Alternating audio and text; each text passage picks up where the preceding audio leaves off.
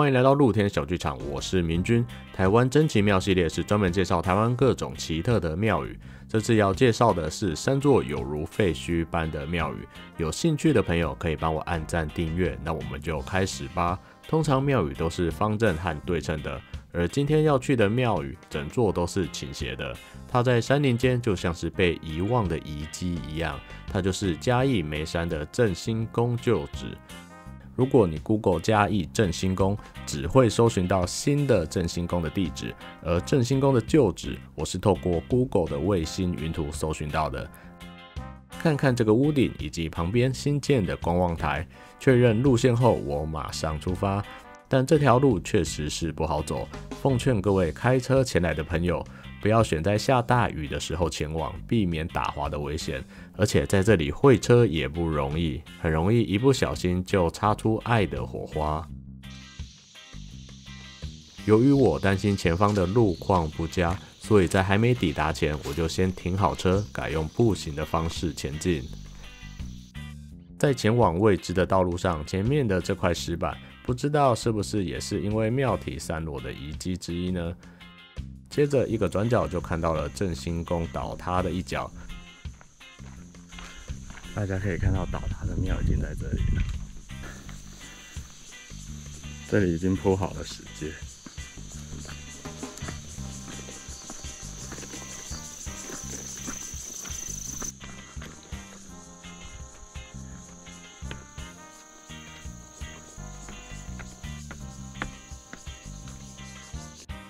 在我前方看到的就是倾斜的振兴宫，现场看比网络上的照片更具有震撼力。毕竟我也是第一次看到倾斜的宫庙，而它到底有多斜？我实际走过去让大家看一下倾斜的程度。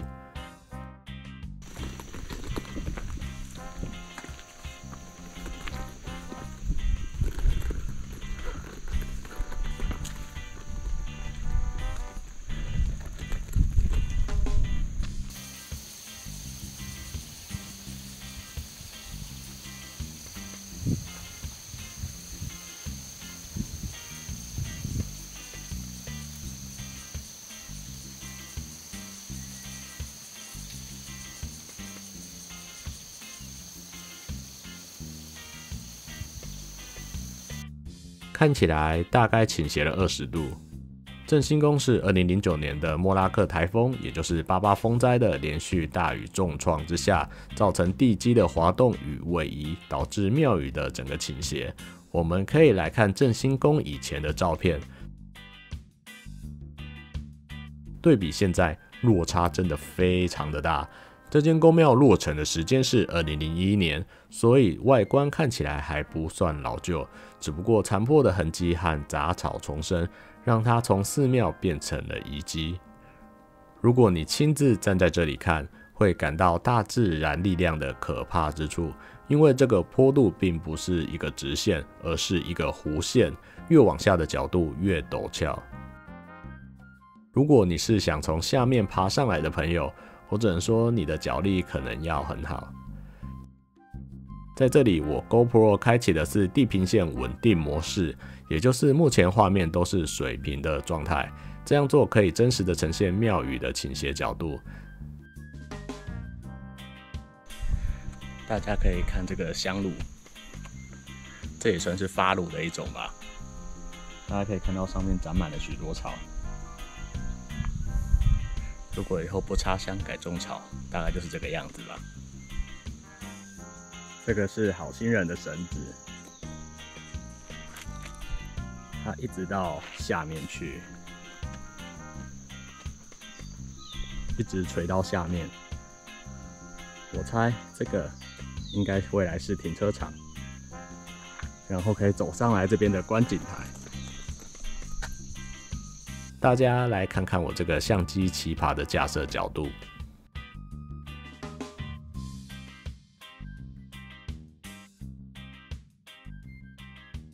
我有点好奇庙里面还剩下些什么，神像是否还在不在？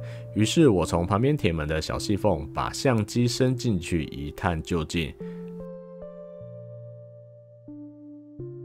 看起来神像已经都不在了。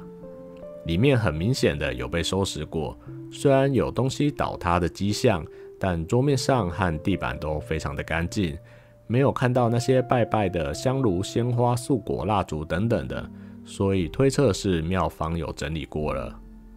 基本上里面是不建议大家走进去的，因为里面的地板布满了灰尘，非常非常的滑。到底有多滑呢？我想应该比公园的塑胶溜滑梯还滑。由此你就可以知道公园的塑胶溜滑梯有多难玩了。走在这里真的很费体力和平衡感，尤其是在这里拿相机，常常要忘记该有的水平。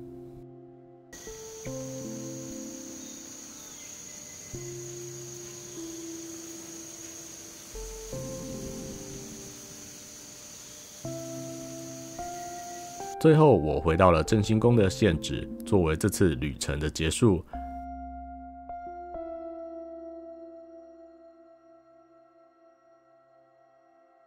接下来要介绍的，也是一座像废墟般的寺庙，它有个特别的名称，叫做半截庙。顾名思义，就是它只有半截，也就是只剩下屋顶露在上面，而下半部都插在土里面。它就是嘉义县六角乡的大庄五福宫。话说这个位置也是不好开车到达，因为道路非常的窄，旁边的花草树木会像洗车机一样的刮你的车，所以建议大家可以骑车来。从小路走进去几分钟，半截庙就在我眼前。没想到我来的季节刚好是休耕期，不然原本应该可以看到它被玉米田包围。话说这里是属于私人的土地，虽然是休耕的期间，但我还是不走进田里面，只用空拍机进行拍摄。这间庙其实是大庄五福宫的旧址，相传大约在两百年前就存在，但在一九五九年的八七水灾之后，因为庙体被淹没，当地居民就把五福宫迁到其他地方，这间旧庙也就一直被埋入土里。好像它不曾存在过一样。直到前阵子新闻报道，有学者认为这底下可能不只有庙，还有村落的遗迹。说到这里，好像是什么盗墓小说会出现的剧情。但后来经过了专家的考察，认为这间庙经过了多次整修，不符合文化资产的古迹标准，所以也就没有后续的考察挖掘了。其实仔细看是可以发现有一些裸露的钢筋，所以它到底是不是百年遗迹，可能还是很难说的。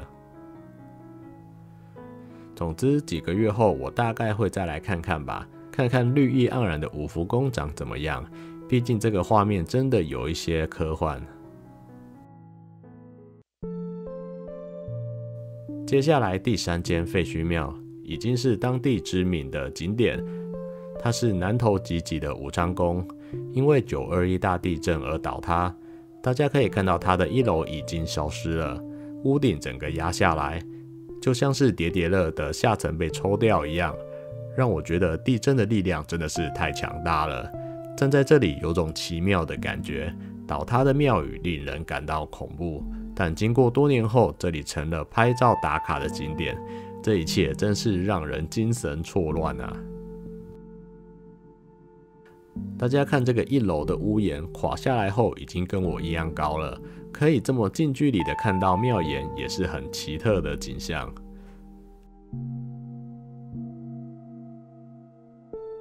庙体周遭也都有用线捆绑住，应该是避免庙体再度位移或者是倒塌。看看这个雕像手上绑着四条龙，我想它的名字应该就叫做驯龙高手吧。从后门看进去，可以看到里面已经垮成一片的样子。一楼的梁柱基本上都是倒塌的，外墙的钢筋也已经裸露出来。而且很奇妙的是，整座庙就这样垮下来，并没有压坏旁边的围墙。话说我在这里待没多久，就听到有游客惊叹的说。啊，神明那也无保庇。虽然说代志不是往人所想的遐尔简单，但这个问题说真的还挺难回答的。欢迎各位在底下留言，该如何回答这个哲学的问题？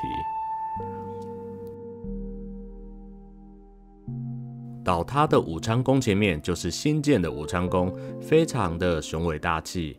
后方倒塌的庙宇就成了武昌宫吸引游客的原因之一。